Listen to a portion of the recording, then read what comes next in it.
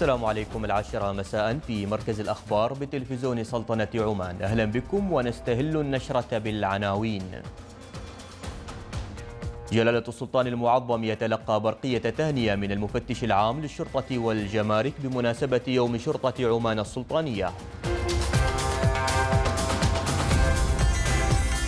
في حديث تلفزيوني لبرنامج هذه أمريكا والعالم مع يوسف بن علوي يؤكد أن السلام هو فلسفة السياسة العمانية وشراكتنا تقوم على الصداقة مع الآخر دون التدخل في شؤون الغير أو السماح بالتدخل في شؤوننا.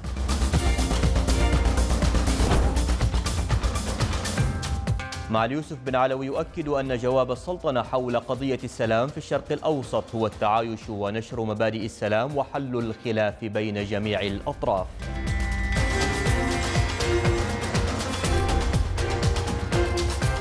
سفير الولايات المتحدة الأمريكية لدى السلطنة. يؤكد أن قيادة جلالة السلطان الحكيم استطاعت أن تكون وسيطا فاعلا في حل العديد من قضايا المنطقة ويؤكد على عمق العلاقات التاريخية بين السلطنة والولايات المتحدة. وفي أخبارنا الاقتصادية نتابع.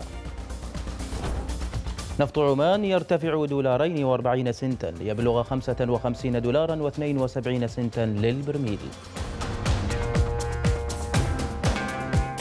وتتابعون في الأخبار الرياضية. غدا انطلاق نهائيات كأس أمم آسيا بلقاء صاحب الأرض المنتخب الإماراتي بشقيقه المنتخب البحريني.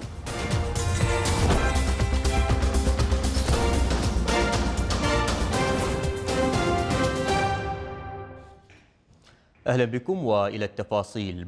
تلقى حضرة صاحب الجلالة السلطان قابوس بن سعيد المعظم حفظه الله ورعاه برقية تهنئة من معالي الفريق حسن بن محسن الشريقي المفتش العام للشرطة والجمارك بمناسبة يوم شرطة عمان السلطانية الموافق الخامس من يناير فيما يلي نصها.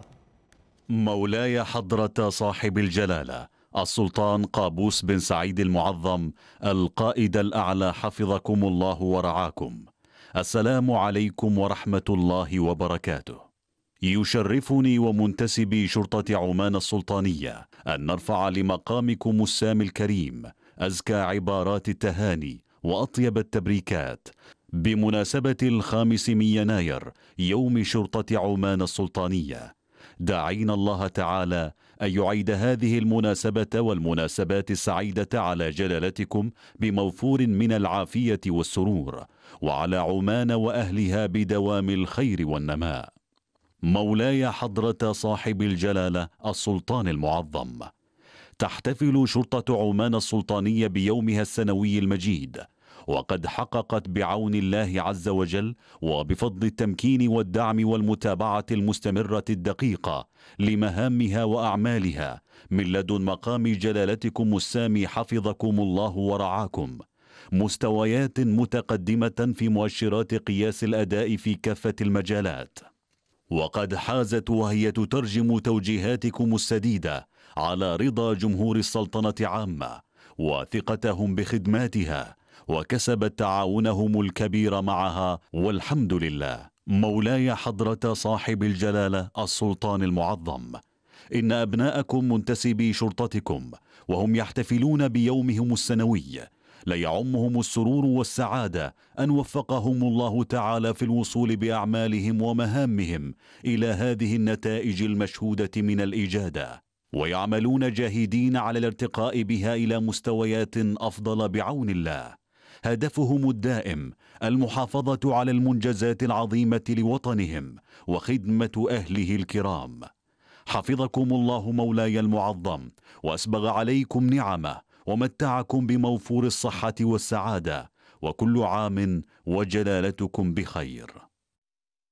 هذا وتحتفل شرطة عمان السلطانية يوم غد بيومها السنوي وسط تحقيق منجزات في كافة مجالات الشرطة الخدمية والأمنية. وخلال العام المنصرم احتفلت الشرطة بافتتاح عدد من مبانيها الحديثة في مختلف ولايات السلطنة وتطوير وتحديث الخدمات الإلكترونية. مشاهدينا الكرام السلام عليكم ورحمة الله وبركاته. بمناسبة يوم شرطة عمان السلطانية الخامس من يناير نستعرض معكم أهم ما تحقق من منجزات خلال العام 2018 تواصل شرطة عمان السلطانية تحقيق أهدافها بخطى ثابتة في كافة مجالات الشرطة الخدمية والأمنية تمثلت بافتتاح عدد من مباني الشرطة الحديثة كالقيادات الجغرافية ومراكز للشرطة ومبان للخدمات ووحدات للمهام الخاصة ومنافذ حدودية. وفي مجال تطوير الخدمات بشرطة عمان السلطانية تم التوقيع على اتفاقية لتوريد معدات حديثة لتطوير منظومة التفتيش الجمركي في منافذ السلطنة البرية والبحرية واتفاقية لإنشاء قاعدة بيانات للبصمة الوراثية يقين. الخدمات الإلكترونية. حظيت بالتطوير والتحديث حيث تم خلال العام 2018 إضافة تحديثات جديدة على تطبيق شرطة عمان السلطانية الإلكتروني كخدمة التصديق الإلكتروني والإبلاغ عن الوثائق والاستفسار عن حالة طلب التأشيرة. وفي ذات المجال حققت شرطة عمان السلطانية جائزة أفضل تطبيق للأجهزة الذكية في القطاع الحكومي وجائزة أفضل مشروع تكاملي بيان ضمن جائزة السلطان قابوس للإجادة في الخدمات الإلكترونية. وكإنجاز يضاف إلى شرطة عمان السلطانية في العام 2018 حصولها على المركز الأول عربيا والخامس عالميا في تقرير التنافسية العالمية وفقا لمؤشر الثقة الذي يصدر عن المنتدى الاقتصادي العالمي والذي صنف السلطنة أيضا الأولى عالميا في مؤشر الخلو من الإرهاب بفضل الاستقرار السياسي والأمني للسلطنة. الجانب المروري في العام 2018 صدرت اللائحة التنفيذية المنظمة لقانون المرور الصادر بالمرسوم السلطاني السادس والثلاثين على 2016 كما عززت الإدارة العامة للمرور خدماتها خلال العام 2018 بإضافة خدمة المركز المتنقل لتقديم الخدمات المرورية في الأماكن العامة. كما توضح الإحصائية المرورية للعام 2018 انخفاض مؤشر الوفيات مقارنة بالسنوات الماضية. وفي مجال العمل الجنائي حققت الإدارة العامة للتحريات والتحقيقات الجنائية نتائج جيدة في خفض نسبة الجرائم المقلقة للراحة العامة بنسبة تقدر بحوالي 22% عن العام 2017 أما في مجال مكافحة المخدرات والمؤثرات العقلية توضح مؤشرات الإحصاء نتائج الانخفاض بنسبة 8% عن العام 2017 العمل الجمركي دشنت الإدارة العامة للجمارك في العام 2018 المحطة الواحدة للتفتيش بمطار صلالة وذلك بالتكامل مع نظام إدارة المخاطر بنظام بيان. هذا كما انضمت الإدارة العامة للجمارك إلى اتفاقية النقل البري الدولي المعروفة بالتير والتي بموجبها يتم تسهيل عملية انتقال بضائع من دولة المصدر إلى دولة المقصد. واستحدثت نظام المستودعات الاستثمارية الجمركية معلقة الضريبة والمشغل الاقتصادي المعتمد كتسهيلات جمركية تسهم في تعزيز موقع السلطنة اللوجستي للخدمات. خفر السواحل في العام 2018 تم تزويد قيادة شرطة خفر السواحل بعدد من الزوارق السريعة التي كان لها الأثر الجيد في عملية مكافحة التسلل والتهريب. أما في مجال الرياضة حقق فريق قيادة شرطة المهام الخاصة للكاراتيه المراكز الثلاثة الأولى في رياضة القتال كوميتيه كما حقق الفريق المركز الثالث في رياضة القتال الكاتا وذلك ضمن منافسات بطولة السلطنة الحادية عشر للكاراتيه. دمتم في أمان. أكد معالي يوسف بن علوي الوزير المسؤول عن الشؤون الخارجية أن فلسفة السلطنة السياسية تقوم على مذهب السلام مع الأمم المحبة والمؤمنة بالسلام. وأن عمان لا تتدخل في شؤون الغير ولا تسمح للغير أن يتدخل في شؤونها. جاء ذلك في حديث معالي لبرنامج هذه أمريكا والعالم والذي أنتج خمس حلقات عن السلطنة. تناولت سياستها الخارجية وثقافتها بالإضافة لاقتصادها واستثماراتها وسياحتها وذلك بالتعاون مع الهيئة العامة للإذاعة والتلفزيون. ويبث البرنامج عبر العشرات من القنوات التلفزيونية الأمريكية والعالمية Recently, This is America and the World visited the Sultanate of Oman in the Middle East. So what would you say إذن ماذا تقول عن فلسفة عمان؟ Peace and peace.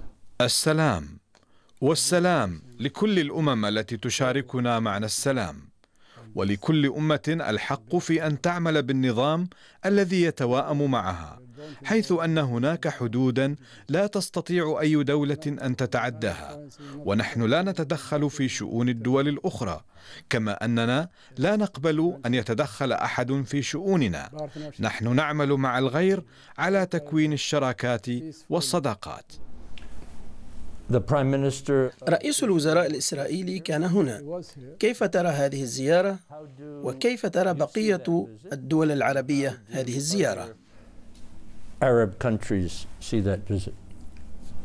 Well, I think uh, he has a problem to face.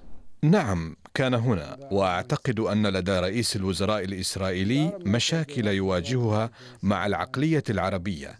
ولدى العقلية العربية اختلافات مع العقلية الإسرائيلية. نحن نحاول إيجاد حل لهذه الاختلافات وأن هذه ليست أولوية والأولوية هي إيجاد آليات تجعل الناس يتقبلون مبادئ السلام والتعايش. ونحن نسعى لاكتشاف مواقع الخلاف بين جميع الأطراف. The principles of peace and coexistence.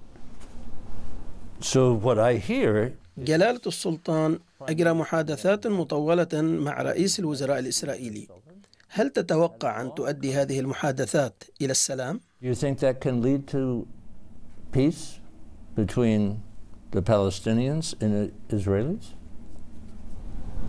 It can be and it can be not. يمكن أن تؤدي ويمكن أن لا تؤدي. هذا يعتمد على الجانبين وذلك بسبب الإرث التاريخي. والمشكلة تكمن في الاحتكام إلى الجوانب التاريخية المتعلقة بالأرض وتاريخها. عليهم توسيع هذه الزاوية الضيقة والخروج منها والنظر إلى المستقبل وعدم العودة إلى الماضي. والسؤال الذي يطرح نفسه للطرفين كيف يريدون النظر لأطفالهم؟ هل هي ذات النظرة نفسها قبل عشر سنوات؟ وهم ليس لديهم إجابة لهذا السؤال، لكن السلطنة لديها الجواب وهو التعايش مع بعضهم البعض. They have to make a wide you know, uh, corridor for both of them to use for the future. من جانبه أكد سعادة مارك جي سيفرز سفير الولايات المتحدة لدى السلطنة. أكد على عمق العلاقات التاريخية بين السلطنة والولايات المتحدة الأمريكية مضيفا أن السلطنة بقيادة حضرة صاحب الجلالة استطاعت أن تكون وسيطا فاعلا في حل العديد من القضايا الإقليمية مؤكدا أن حضرة صاحب الجلالة دفع بالسلطنة نحو النمو والاستقرار منذ توليه مقاليد الحكم في البلاد.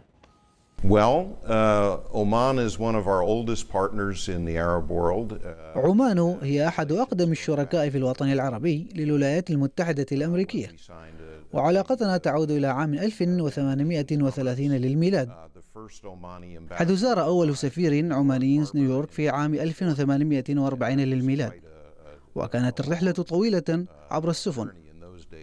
نحن أصدقاء قدماء ولدينا حاليا اتفاقية للتجارة الحرة. وهذا يسهم في دعم اقتصاد البلدين. والسلطنة شريك مهم ومتميز في حل المشاكل الإقليمية. ولا شك أن صاحب الجلالة السلطان قابوس بسياسته الحكيمة استطاع أن يجعل السلطنة وسيطا فاعلا في حل العديد من القضايا والمشاكل الإقليمية حين يطلب منها ذلك. Uh, an effective mediator uh, when uh, Oman's assistance is requested. النشرة مستمرة من مركز الأخبار وفيها بعد الفاصل. بمشاركة واسعة من مختلف محافظات السلطنة وعدد من دول مجلس التعاون الخليجي تواصل فعاليات مهرجان حمراء الدروع لمزاينة الإبل بمحافظة الظاهرة.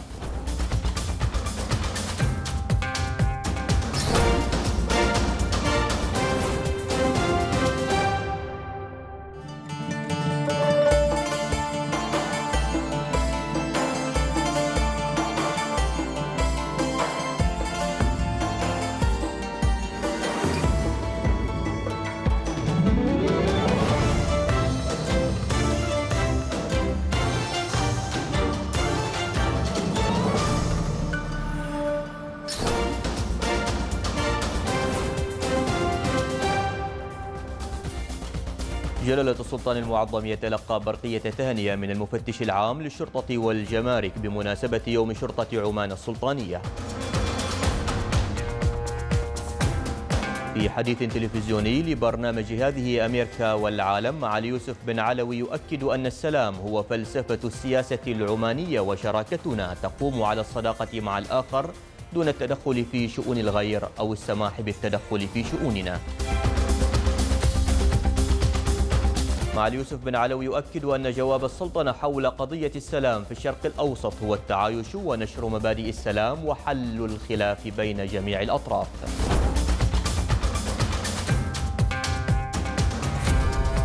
سفير الولايات المتحدة الأمريكية لدى السلطنة يؤكد أن قيادة جلالة السلطان الحكيم استطاعت أن تكون وسيطا فاعلا في حل العديد من قضايا المنطقة ويؤكد على عمق العلاقات التاريخية بين السلطنة والولايات المتحدة.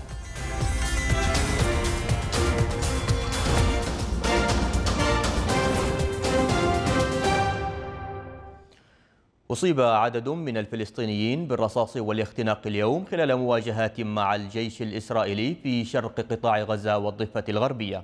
وتواصل مسيرات العودة احتجاجاتها وذلك لرفع الحصار الإسرائيلي المفروض على القطاع منذ عام 2007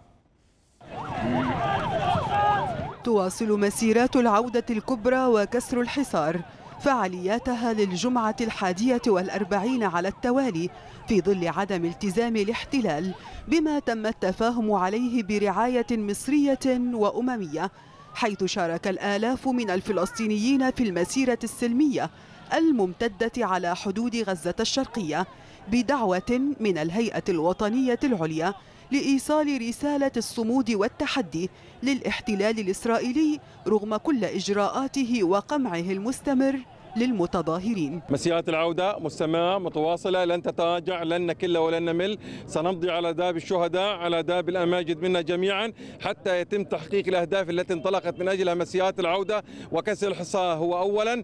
كسر الحصار الظالم المفروض على شعبنا الفلسطيني. وأصيب العشرات من الفلسطينيين بجراح متفاوتة شرقي القطاع جراء قمع الاحتلال الإسرائيلي لمسيرات العودة وبالمقابل دعت الهيئة الوطنية العليا لتفعيل سلاح المقاطعة الإسرائيلية عبر استراتيجية وطنية وعربية واضحة تحاصر كل أشكال التطبيع ورموزه. في هذه المسيرة بالذات الهادية والأربعون والتي تحت عنوان مقاومة التطبيع ولكن الشعوب العربية لا زالت تساندنا ونحن معها وهي معنا إن شاء الله حتى نحقق أهدافنا. استمرار مسيرات العودة بكل عنفوانها وبرنامجها الأسبوعي وتدفق الجموع الثائرة إلى مخيمات العودة. هو تأكيد على إصرارها على تحقيق أهدافها المنشودة وتجسيد للصمود في وجه الاحتلال وفشل كل محاولات الحد من حضورها الجماهيري. أعتقد مسيرات العودة ستستمر ما لم تحقق أهدافها وحتى هذه اللحظة لم تحقق إلا الشيء اليسير الذي يسعى إليه الشعب الفلسطيني. ولا أعتقد أن أحد يمكن أن يجبر الشعب الفلسطيني على التراجع حتى الموت. وكشفت الهيئة الوطنية العليا عن أنها بصدد استخدام خيارات نضالية جديدة هدفها الوقوف بحزم أمام الاحتلال الذي ما زال يمارس سياسة المماطلة والتسويف ويسعى لحرق الوقت للالتفاف على الحقوق الفلسطينية. اليوم الشعب الفلسطيني يؤكد أنه ماضي في مقاومته وفي نضاله حتى تحقيق ثوابته وتحقيق حقوقه. اليوم مسيرة العودة أكدت وحدة الشعب الفلسطيني. كل فصائل العمل الوطني والمقاوم تشترك في غرفة عمليات واحدة ومشتركة ضمن الهيئة الوطنية العليا لمسيرة العودة وكسر الحصار. اليوم شبابنا تعودوا أن يصلوا إلى هذه الحدود بدون أي خوف. ويشارك الفلسطينيون منذ الثلاثين من مارس الماضي في مسيرات سلمية قرب السياج الفاصل بين قطاع غزة والأراضي الفلسطينية المحتلة. للمطالبة بعودة اللاجئين إلى مدنهم وقراهم التي هجروا منها عام 48 وكسر الحصار عن غزة. مسيرات العودة أفشلت كل توقعات إخماد شعلتها فها هي بعد 41 جمعة مستمرة ويزداد زخمها وتتطور أدواتها السلمية رغم كل التهديدات الإسرائيلية والقرارات الأمريكية. منى حلس لتلفزيون سلطنة عمان غزة فلسطين. أعربت اليابان عن عزمها في التوصل إلى حل سلمي لإنهاء نزاعها حول أراض مع الجانب الروسي. وقال رئيس الوزراء الياباني شينزو آبي أنه سيعمل على التوصل إلى معاهدة سلام مع الروس خلال اجتماع من المقرر عقده مع الرئيس فلاديمير بوتين هذا الشهر لبحث ملكية جزر الكوريل. وتتنازع البلدان ملكية 14 جزيرة من سلسلة الكوريل التي استولت عليها القوات السوفيتية في الأيام الأخيرة من الحرب العالمية الثانية. أودت أول عاصفة مدارية تجتاح تايلاند في ثلاثة عقود بحياة شخص بعدما وصلت إلى الساحل الجنوبي لتقتلع في طريقها أشجارا وأسطح مبان. وقال مسؤولون أن الرياح المصاحبة للعاصفة المدارية بابوك تسببت في أمواج مد عالية في خليج تايلاند لدى وصولها إلى منطقة باك بانانغ حيث سحقت الأشجار المتساقطة العديد من المنازل مسببة فوضى عارمة.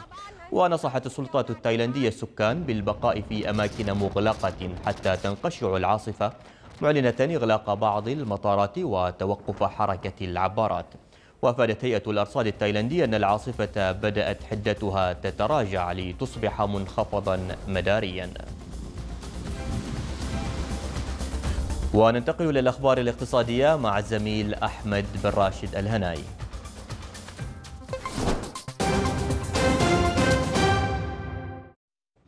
أهلا بكم مشاهدينا. ارتفع سعر نفط عمان تسليم شهر مارس المقبل اليوم بدولارين و40 سنتا ليبلغ 55 دولارا و72 سنتا للبرميل.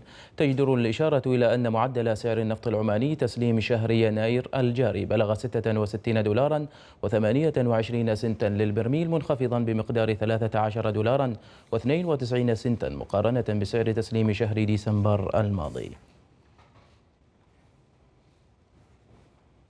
عالميا ارتفعت أسعار النفط وزادت من مكاسبها اليوم حيث ارتفع خام برنت أكثر من دولارين ليبلغ 58 دولارا وخمسة سنتات للبرميل كما ارتفع سعر خام غرب تكساس دولارا و58 سنتا ليبلغ 48 دولارا و67 سنتا للبرميل. ويعزى هذا الارتفاع إلى بدء بعض الدول بتطبيق قرار منظمة أوبك القاضي بخفض الإنتاج العالمي من النفط الخام. وانخفاض المخزونات الأمريكية بمعدل أربعة ملايين ونصف المليون برميل.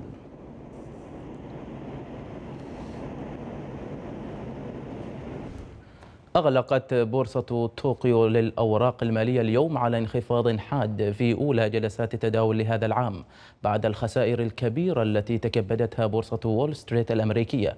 وخسر المؤشر الياباني 607 نقاط فاصلة 37 كما هبط مؤشر توبكس الأوسع نطاقا 33 نقطة فاصلة 58 وكانت الأسهم الأمريكية أغلقت على انخفاض حيث خسر مؤشر الداو جونز الصناعي القياسي 2.83% كما تراجع مؤشر ناسداك لأسهم التكنولوجيا بنسبة 3.4 من 100% كشف أو كشفت بيانات مكتب الإحصاء الأوروبي أن معدل التضخم في منطقة العملة الأوروبية الموحدة تراجع في ديسمبر الماضي 1.6% ويأتي هذا الانخفاض بعد أن اقتربت الزيادة السنوية في تكاليف المعيشة إلى أدنى من 2% وهي النسبة التي يسعى إلى الوصول إليها البنك المركزي الأوروبي. وشهدت أسعار الطاقة أكبر نسبة ارتفاع في ديسمبر بزيادة نسبتها 5.5% تليها أسعار الأغذية والتبغ بزيادة متواضعة بلغت نسبتها 1.8%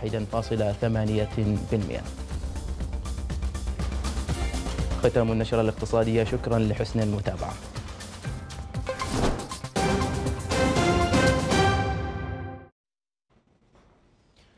في العاصمة المصرية القاهرة كرمت مؤسسة المنجزين العرب عددا من الشخصيات المتميزة في مجال العمل الاجتماعي والتطوعي خلال مؤتمر الإنجاز والإبداع.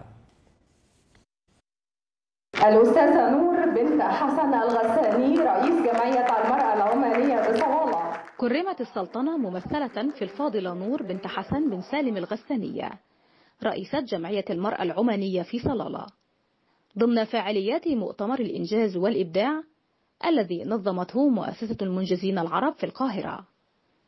يهدف المؤتمر إلى إلقاء الضوء على الإنجازات التي تحققت في الوطن العربي خلال عام 2018 في مجالات العمل الاجتماعي والتطوعي. هذا التكريم يعني فعلا حافز وتشجيع وأيضا يعطيني دافع أني أتقدم في العمل وأزداد من عملي وفخر لي وفخر لبنات عمان هذا الإنجاز العظيم أني أهدي لمولانا صاحب الجلالة لأنه هو الدافع الأول اللي فعلا أعطى المرأة حقوقها وزيادة ودفعها للعطاء وأصبحنا فعلا من النساء المرموقات على مستوى الوطن العربي. يركز المؤتمر على قضية رعاية المواهب وتطوير الذات عند النشء والشباب بجانب عرض سير ذاتية لشخصيات مؤثرة وملهمة من ذوي الهمم والاحتياجات الخاصة. بالنسبة لنا نجاح كبير أو إن إحنا نعمل ألفة بين الوطن العربي في مؤتمر ما يعتبرش مؤتمر يعني رسمي أكتر ما هو مؤتمر اجتماعي ومؤتمر خيري. المؤتمر النهاردة هو المؤتمر الدولي الثالث للمنجزين العرب الإبداع والإنجاز والتميز. لعرض الإنجازات على مستوى الوطن العربي تكريم الشخصيات المؤثرة اجتماعيا. آه الحمد لله كان في آه يعني إن شاء الله في اشتراك كبير آه للمؤتمر النهارده من المكرمين ومن المنجزين العرب. ويستضيف المؤتمر نخبة من المحاضرين والمحاورين. يمثلون خبرات متنوعة من أكثر من تسع دول عربية بما يقرب من 250 مشاركا. لتسليط الضوء على المبادرات الإيجابية التي حققت أهدافها المعلنة عند تدشينها. كل واحد يعتمد على نفسه ويحدد إيه إمكانياته اللي هو يشتغل بيها. وخاصة في حاليا في دول أوروبا وفي الخارج كتير من أبناء الأمة العربية اللي لهم علاقات سياسية واقتصادية مع اخذ القرار في هذه الدول. وده لو حصل تنسيق بينهم وبين حكوماتنا ممكن يساعدوا كتير جدا. في نقل التكنولوجيا في فتح أسواق خارجية لمنتجاتنا مساعدة بلادنا داخليا وخارجيا على كل المجالات. وقد شهد المؤتمر أكثر من 12 جلسة وورشة عمل. تم خلالها مناقشة عدد من القضايا الخاصة برعاية المبدعين واكتشاف الموهوبين. يأتي تكريم السلطنة في مؤتمر الإنجاز والإبداع ليؤكدوا قدرة أبنائها على تطوير وخدمة مجتمعهم في شتى المجالات. من القاهرة سحر صبري تلفزيون سلطنة عمان. والآن إلى جولة من الأخبار الرياضية مع مزون الحسنية.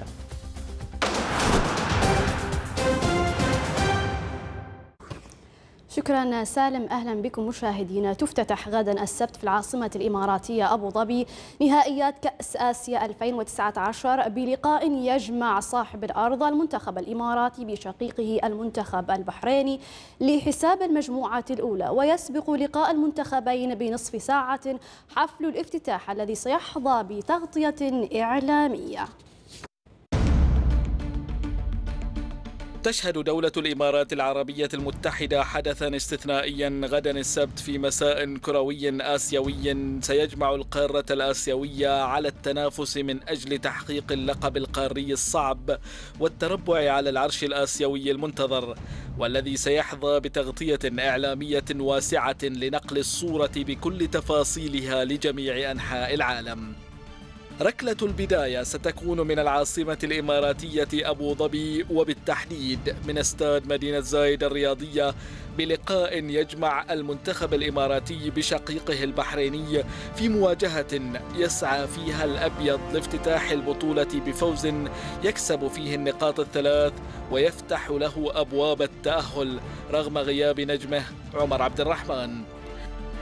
المدرب الإيطالي زاكاروني أعد العدة بشكل مثالي لتقديم مستوى كبير أمام المنتخب البحريني الساعي هو الآخر إلى تسجيل انطلاقة مميزة في البطولة القارية ومحاولة خطف العلامة الكاملة في أولى المواجهات رغم صعوبة المهمة في مقابلة صاحب الضيافة وسط الحضور الجماهيري الكبير الذي سيملأ مدرجات الملعب. لقاء خليجي خالص ومهم لكلا المنتخبين فالبداية بانتصار سواء للأبيض الإماراتي أو الأحمر البحريني ستمهد الطريق نحو العبور والخسارة في الافتتاح تعني دخول الجولات القادمة بحسابات معقدة. خاض منتخبنا الوطني مساء اليوم آخر تدريب له في العاصمة الإماراتية أبو ظبي وذلك قبل الانتقال غدا إلى إمارة الشارقة استعدادا لمواجهة المنتخب الأوزبكي يوم الأربعاء القادم في مستهل مشواره في النهائيات الآسيوية. المنتخب خاض حصة تدريبية وحيدة في الفترة المسائية. شهدت حضور أعضاء من الاتحاد العماني لكرة القدم ووزارة الشؤون الرياضية وشهدت تدريبات الأحمر تواجد جميع اللاعبين الذين شاركوا في الحصة التدريبية كاملة عاد القائد أحمد كانو الذي تدرب منفردا. هذا وتغادر بعثة المنتخب صباح الغد إلى إمارة الشارقة لإكمال التحضيرات النهائية التي تسبق اللقاء الافتتاحي أمام أوزبكستان. أسندت لجنة الحكام بالاتحاد الآسيوي لكرة القدم للطاقم الوطني بقيادة الحكم أحمد الكاف إدارة مباراة المنتخبين الأسترالي والأردني بعد غد الأحد. وذلك ضمن المجموعة الثانية من منافسات بطولة الأمم الآسيوية. ويشارك الكاف في إدارة اللقاء المساعدان أبو بكر العمري وراشد الغيثي بجانب القطريين عبد الرحمن الجاسم وخميس المري كحكمين إضافيين. هذا ويشارك أحمد الكاف للمرة الأولى في نهائيات كأس آسيا رفقة المساعد راشد الغيثي بينما يتواجد أبو بكر العمري للمرة الثانية حيث سبق وإن تواجد في نسخة 2015 بأستراليا.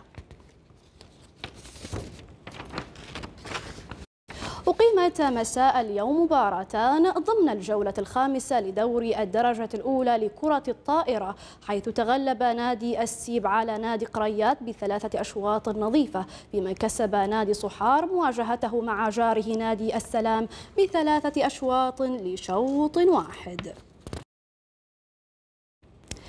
إلى الخبر الأخير توج البرتغالي كريستيانو رونالدو نجم يوفنتوس الإيطالي بجائزة أفضل لاعب لعام 2018 في حفل جوائز جلوب سوكر الذي أقيم في دبي وأضاف إليها جائزة أجمل هدف من اختيار الجمهور. وتفوق البرتغالي أفضل لاعب في العالم خمس مرات على الفرنسيين أنطوان غريزمان وكيليان ممبابي المتواجدين مع منتخب بلادهما بلقب كأس العالم. ونال الفرنسي ديدي ديشامب جائزة أفضل مدرب بعدما قاد منتخب بلاده إلى لقبه الثاني في كأس العالم. كما اختير أتلتيكو مدريد الإسباني الفائز بلقب مسابقة الدوري الأوروبي كأفضل ناد Secondly, they beat the European champions Real Madrid in the Super Cup.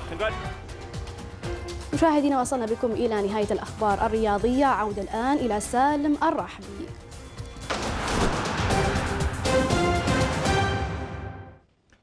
شكرا مزون. تواصلت بولاية عبري بمحافظة الظاهرة فعاليات مهرجان حمراء الدروع لمزاينة الإبل.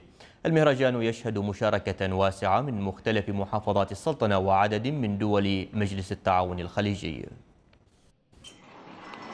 تسعة أشواط مثيرة تنافس عليها ملاك الهجن بمحافظة الظاهرة على ميدان الفاش بولاية عبري. في السباق الذي نظمه الاتحاد العماني لسباقات الهجن في محطته الثالثة على مستوى السلطنة. وسباقنا اليوم كانت أربع سيارات لمحافظة الظاهرة. فهناك الحقيقة يعني مشاركة واسعة من ملاك الهجن بمنطقة الظاهرة. فالسباقات ولله الحمد كانت يعني مركزة في المحافظات وولايات السلطنة من بداية الموسم إلى الختام. النصيبة وشاهين والشاهينية وراهي من الحقائق حصلت الناموس بعد أن تصدرت في أشواط السباق لمسافة ثلاثة كيلومترات فيما حظيت الحذرة والكايدة من اللقايا بجوائز الأشواط لمسافة أربعة كيلومترات. والله يمثلنا شيء كبير. عند أهلنا وأجدادنا كانوا والحين الحمد لله إحنا متواصلين فيه. وهذا الدعم اللي جينا دعم للماروث للماروث من الأهالي والأجداد. تجهيزنا هذا طعامك من يوم صغار علين وصلنا السن هذا كله تجهيز سنة ورا سنة ومتابعة والحلال الزين يثبت والحلال التعبان ما يثبت. أشواط السباق كانت مليئة بالتحدي والإثارة بحجم المشاركات من النوق التي بلغت قرابة 700 ناقة والحضور الواسع من المهتمين بهذا الموروث العماني الأصيل مسابقات قادمة سينفذها الاتحاد العماني لسباقات الهجن خلال الفترة القادمة. محمد بن سعيد العلوي من ميدان رفاش بولاية عبري محافظة الظاهرة. وفي الختام هذا تذكير بالعناوين. جلالة السلطان المعظم يتلقى برقية تهنئة من المفتش العام للشرطة والجمارك بمناسبة يوم شرطة عمان السلطانية. في حديث تلفزيوني لبرنامج هذه أمريكا والعالم مع اليوسف بن علوي يؤكد أن السلام هو فلسفة السياسة العمانية وشراكتنا تقوم على الصداقة مع الآخر دون التدخل في شؤون الغير أو السماح بالتدخل في شؤوننا. مع اليوسف بن علوي يؤكد أن جواب السلطنة حول قضية السلام في الشرق الأوسط هو التعايش ونشر مبادئ السلام ومبادئ السلام وحل الخلاف بين جميع الأطراف.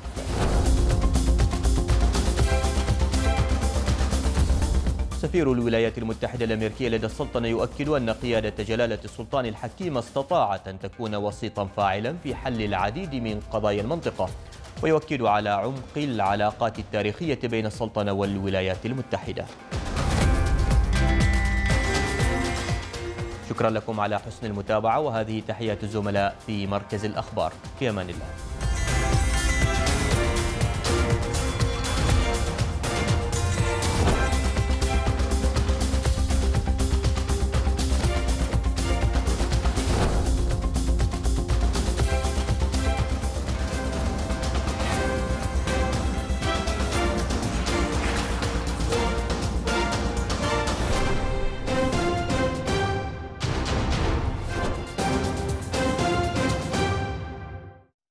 السلام عليكم ورحمة الله. أهلا بكم مشاهدينا. آخر الصور الجوية توضح حزام السحب هنا شمال شبه الجزيرة العربية باتجاه الأراضي الإيرانية.